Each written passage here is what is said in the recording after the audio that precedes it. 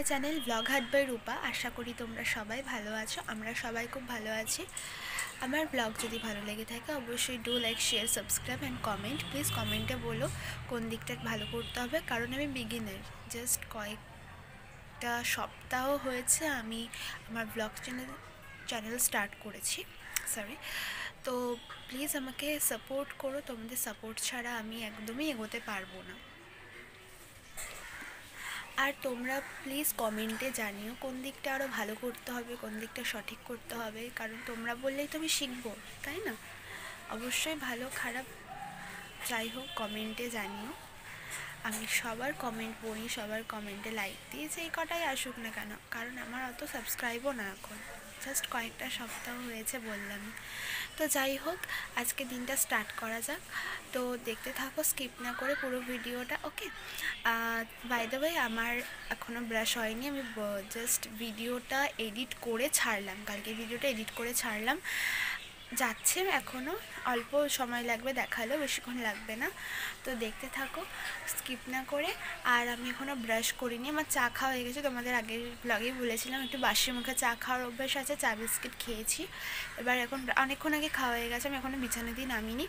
বিছানাটা একটু গুছিয়ে তারপরে আমি ব্রাশ করতে যাব। দেখতে থাকো।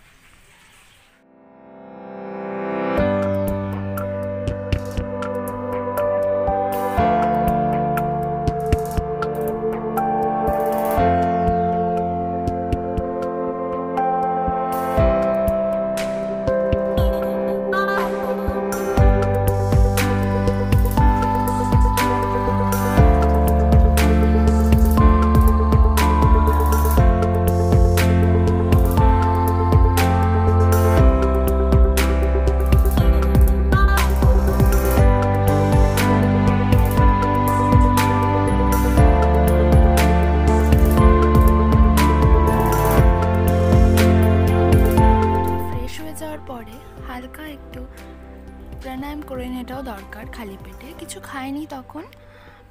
তো কিছু প্রাণায়াম করে নিলাম কিছু সময়ের জন্য। বেশ মাইন্ডটাও ফ্রেশ লাগে। সারাদিন একদম ফ্রেশলিভাবে দিনটা কাটানো যায়। তোমরাও কখনো ট্রাই করে দেখো, যারা যারা করো না, অনেকেই করে, অনেকে করে না। যারা প্রাণায়াম করো, তারা ভালো করে জানো। আর যারা করো না, তোমরা একবার ট্রাই করে দেখো সকালে উঠে। এরকম অল্প সময়ের জন্য, প্রত্যেক দিন এত সময় ধরে করতে হবে না। অল্প সময়ের জন্য তোমরা করে দেখো। প্রাণায়াম দেখবে মাইন্ড পুরো হালকা ফ্রেশ লাগে একেবারে। আজ প্রাণায়ামের পরে সকালের ব্রেকফাস্ট আমার কলা আর রুটি খেয়েছিলাম। হাতে বানানো আটা রুটি ছিল, মা বানিয়েছিল। বেশ ভালোই লাগে আমার খেতে। কলা আর রুটি কম্বিনেশন আমার বেশ ভালো লাগে। আমি কখনোই না করি না, মা যখন খেতে বলে। সকালে ব্রেকফাস্টের পর ফ্রেশ হয়ে আমি আর মা বেরিয়ে পড়েছিলাম একটু। আমার স্কুলের কিছু দরকারের জন্য।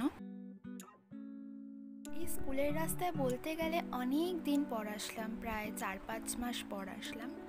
আগে এসেছিলাম আমার স্কুলের দরকারের জন্যই এসেছিলাম, কিন্তু আরও অনেক দিন পর আসলাম আবারও।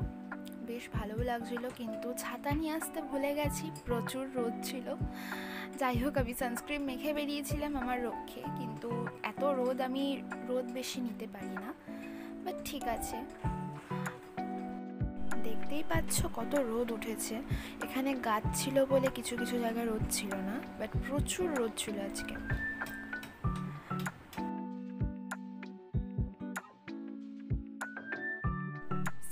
পথে যখন ঢুকছিলাম, তখন মনে হচ্ছিল যে আমিও স্কুলে একদিন পড়তাম। কিন্তু এখন আমার স্কুল লাইফ শেষ। দেখে স্কুলটাকে কিছু কিছু সময় খারাপও লাগছিল, ভালোও লাগছিল।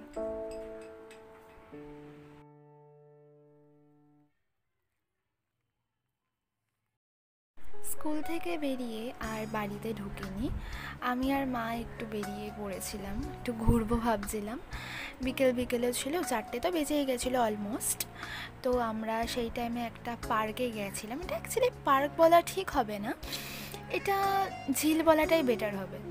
যাই হোক, এই ঝিলটা এত শান্তিদায়ক। এখানে সবাই বিকেলে হাঁটতে আসে, বয়স্ক থেকে ইয়াং থেকে সবাই হাঁটতে আসে। দেখতেই পাচ্ছ খুব সুন্দর। চারিদিকে গাছ, দুদিকেই গাছ, গাছরা সব। মাঝে একটা বিশাল বড় পুকুর। পুকুর বলা ঠিক হবে না, ঝিল বলাই ঠিক হবে। এখানে জল কম থাকে বাট এই বৃষ্টির টাইমে প্রচুর জল বেড়ে গেছে। আমি দেখে অবাক, এত জল। অনেকটা জল উঠে উঠে এসছে ওপরে। মাঝে মাঝে হাওয়াও দিচ্ছিল, ভালো লাগছিল। আর এই পুকুরটা এরকম বাঁধানো ছিল না। আমি অনেক দিন পর এলাম, দেখলাম যে বেশ বাঁধানো জায়গাটা। এসেছি, দেখতেই পেলে স্কুল থেকে ডাইরেক্ট বাড়িতে আসিনি। আমরা একটু গেছিলাম একটা পার্কে একটু বসেছিলাম ঘরে আসতে ইচ্ছে করছিল না, মা বলছিল যে, ঘরে এখন যাস না আচ্ছা একটু ঘুরি। তো ঘুরি বলতে, ঘুরে, ঘুরেছি বলতে একদম বাড়ির সামনেই ছিল পার্কটা তোমাদের দেখালাম। পুরো বাড়ির সামনেই। অনেকে জেনেও থাকবে হয়তো। তো বসেছিলাম আধ ঘণ্টার মতো। বসে একটু মার সঙ্গে হালকা কথাবার্তা। নেচারটাও ভালো লাগছিল, অল চারিদিকে সবুজে সবুজ। যাই হোক একটু ঘোরাও হয়ে গেল, বাড়িতে চলে এসেছি। জাস্ট এলাম, এসে তোমাদের সঙ্গে গল্প করছি। তো বেশ ভালোও লাগল।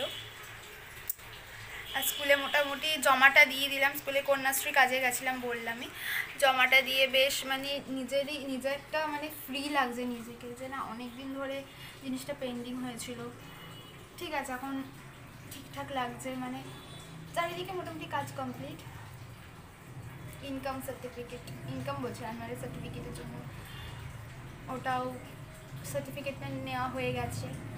সব দিক দিয়ে একদম টেনশন ফ্রি এখন। যাই হোক এখন আমি ফ্রেশ হইনি জামাটা চেঞ্জ করব। তো দেখতে থাকো ফ্রেশ হয়ে তোমাদের সঙ্গে আবার দেখা করছি। ফ্রেশ হয়েছি অনেকক্ষণ আগে আর তার মাঝে ব্লক করা হয়নি, শরীরটা টায়ার্ড হেঁটে ফেটে এসছি।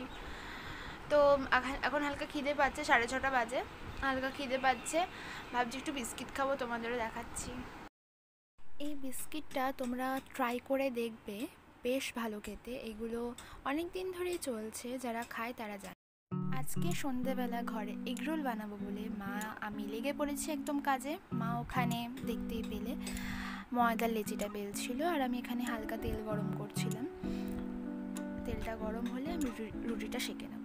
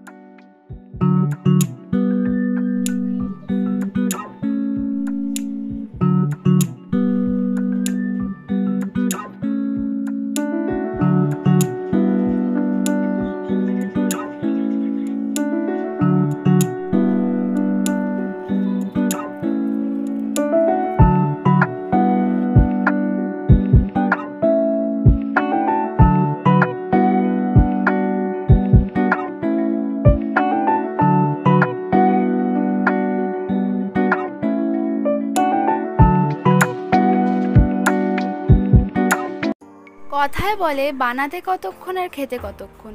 আশা করি তোমরা আমার কথা বুঝতেই পারছ।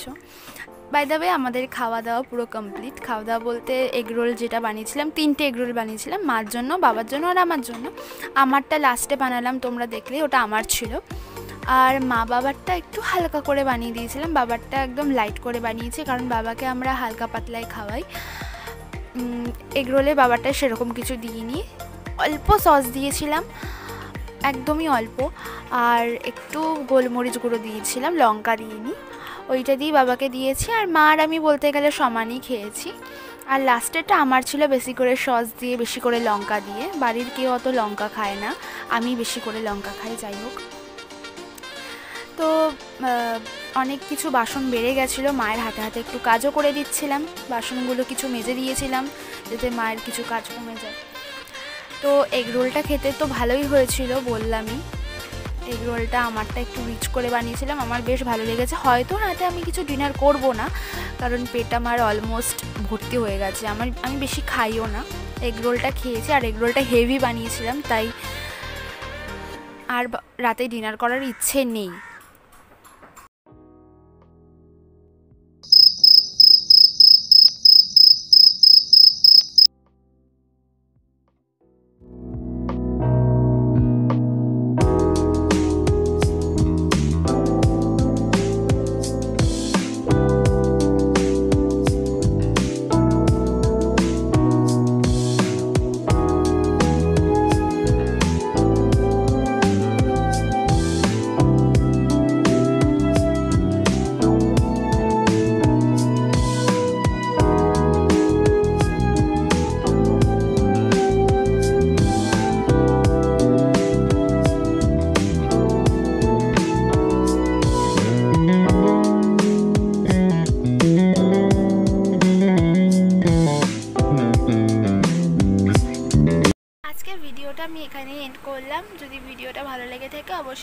শেয়ার সাবস্ক্রাইব অ্যান্ড কমেন্ট আমার ভিডিওটাকে প্লিজ লাইক করো কমেন্ট করো।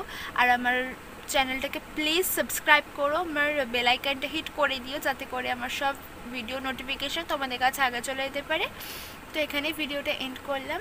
Tata take care